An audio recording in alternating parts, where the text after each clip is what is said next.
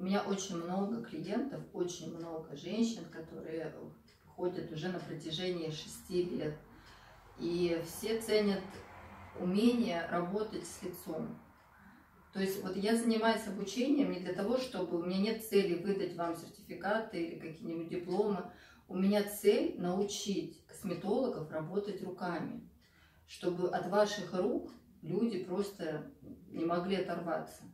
Очень многие, да, клиенты мне говорят, что, что у нас зависимость от ваших рук. Но это же очень хорошая зависимость.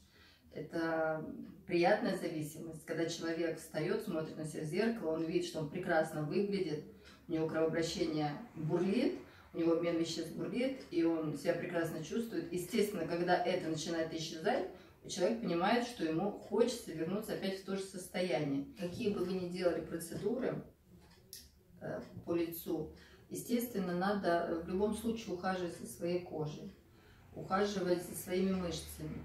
Для этого и существует массаж. Скульптурный массаж лица – это не только массаж лица, а еще и шейно-воротниковая зона, зона декольте, зона шеи и зона лица.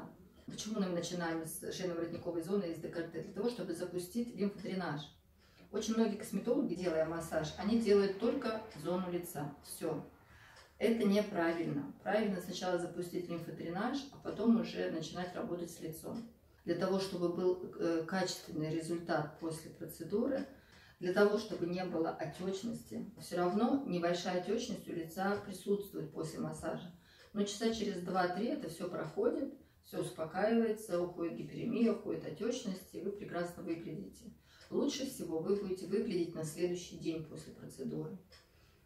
Эм, а еще лучше вы будете выглядеть после 10 процедур. Приглашаю всех на массаж, на увлажняющие процедуры, на лифтинговые процедуры. Приходите, сейчас как раз время, чтобы уделить себе внимание. Всех жду. А косметологов ждем в новом году на обучение.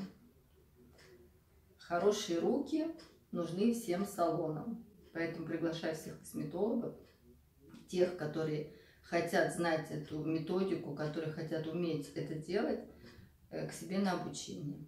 Я очень хочу научить косметологов работать руками и приносить пользу, добиваться результата своими руками.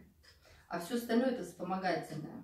Косметика, хорошая косметика, там разные аппаратные процедуры. Все остальное это вспомогательное, ну в моем случае. А основа это, конечно, работа руками. То, что вы умеете сделать, поднять, запустить, это все работа руками. Ждем вас. С удовольствием научу всему, что я умею делать.